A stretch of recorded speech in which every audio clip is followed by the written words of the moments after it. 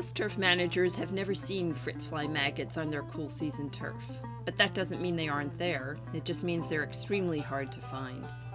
In this video, we'll show you what frit flies look like and what kind of damage they cause. Though they cause problems only occasionally, it's good to be able to recognize this pesky little guy so that you can manage it properly if it does show up. Let's start by looking at the adult frit fly. These are very small flies, about only a sixteenth of an inch long, and you'll sometimes see them hovering over the turf surface.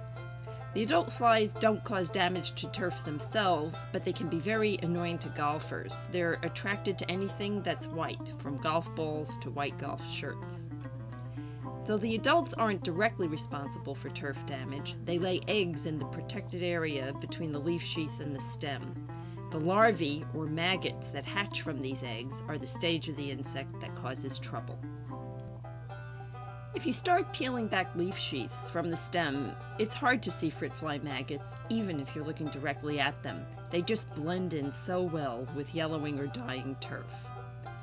What you're looking at here is the rear end of the maggot, its head is actually buried in the crown of the plant where it kills the growing point of new stems by shredding the plant tissue to pieces with its strange hook-like mouthparts. Attacking the plant at its growing tip causes the entire shoot to die. Surrounding shoots and leaves may remain green, however. Here's the maggot climbing headfirst up a shoot that's been damaged by frit fly feeding. The maggot's also quite small, about an eighth of an inch long. Note that it has almost no distinguishing characteristics, not a well-defined head and no legs whatsoever. You can distinguish the head end from the rear end mainly because the head comes to a point and has a pair of very small black hooks, which are the mouth parts, that the maggot uses to grind or rasp plant tissue. If frit flies are causing damage on your turf, it's usually a sign there is an underlying problem, and frequently that problem is high organic matter.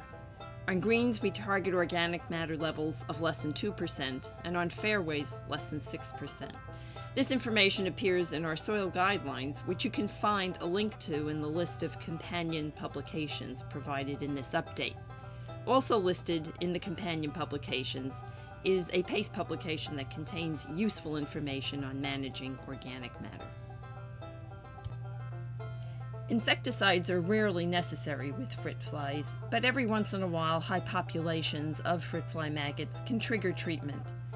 In this photo, the superintendent treated the area on the left with a combination of Talstar, which is bifenthrin, and Merit, which is imidacloprid, with good results. The Talstar knocked down the adult frit flies, and the Merit targeted the maggots systemically.